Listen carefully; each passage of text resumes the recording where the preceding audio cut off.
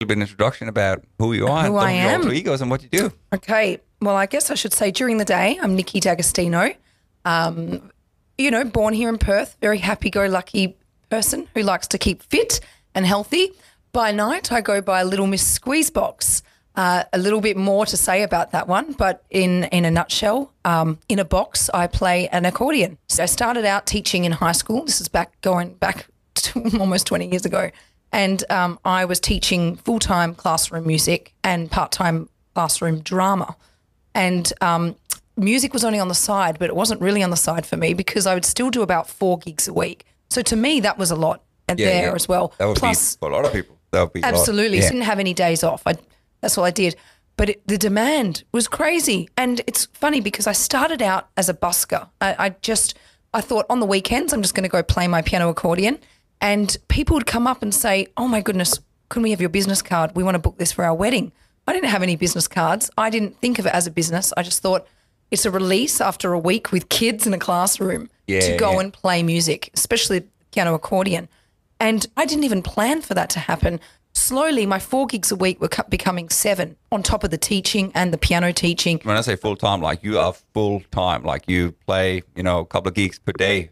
Yes. uh, sometimes, but Uh, You're right. Uh, f- averaging 14 a week, which is quite a lot. Apparently, at one point, I've held the Guinness Book of Records for the amount of gigs uh, a musician, one musician standalone can play in one year. Um, and Oh, I, really? I, I did my count for the year, and it was at something like 456 or something ridiculous. And they were like, "You've won it hands down." Like no one even got to the 300 mark, something like well, that. that's that, that's almost one and a half per day. Yeah.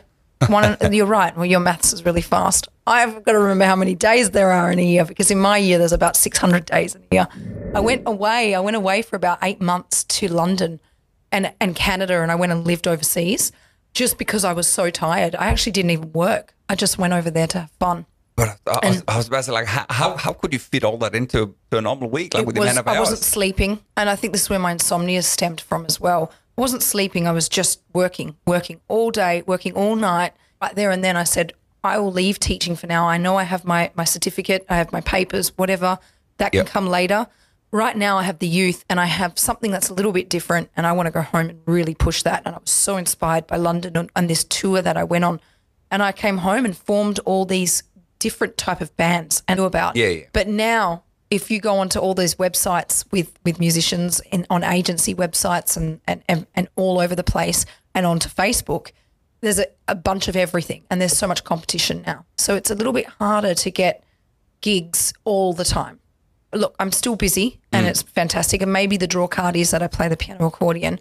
I wonder if I played a guitar, say, if I'd be as busy. it's hard to say, but I was about to like, like uh, I was, my, my next question was going to be like, what do you reckon makes you stand out? And I think that is what makes you stand out, the fact that you do play an accordion. Yes. Um, and also like you're obviously quite tall as well. Like you are. So I you- do you- stand out. Yeah, and I like, don't literally. dress like the average person. Like, look at me in my, my clothes today. I'm dressed in a, a Lion King outfit. Yeah, and, and, and you glitter. Like you always Yeah, wear wearing- some, some, some sort of glitter. I've well. got to stand out somewhere. Like, I, because I did start before there was a big skyrocket. People Yeah. just remember and trust me because I've been around. So my name has, with uh, you know, upstood in the industry. So I'm lucky that I did start from there and I kept it going. You have to work really hard, though. You really do. You have to know that you're going to do this, and when you really want something, you can make it happen. Absolutely. And you work for it. And like I said, I'd stay up every night till 3 a.m., even if I had to be up at 7, sending emails, just emailing everyone out there, letting them know what I had, editing little videos on my iMovie Mac for that. You know, it's got its pros and it's got its cons.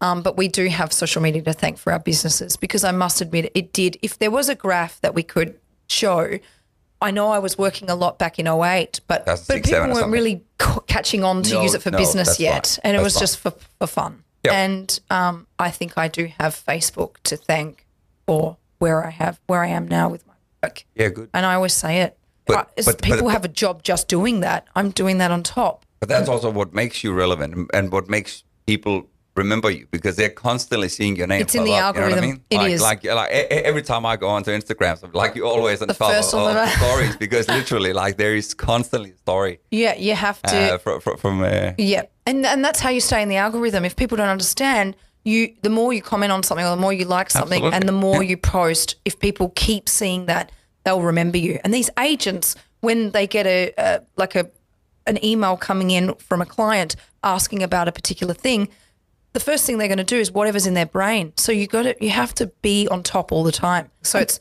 mentality tactic with your marketing as well, and and your networking. You got to get out there and and talk. And 10 second this and things like TikTok and all that sort of stuff. People are watching that, and it's I'm trying to teach them that and the hashtagging and everything. So yeah, but some people don't want to change that mentality. And by all means, if if they're happy like that too, then hmm. that's a, a good world too. But there's yeah balance for everything. You got a website as well? I do littlemissqueezebox.com. Thanks so much, Nikki. Thank was you, it a Steph, for pleasure. having me, Loved and uh, have a great uh, summer season, everybody.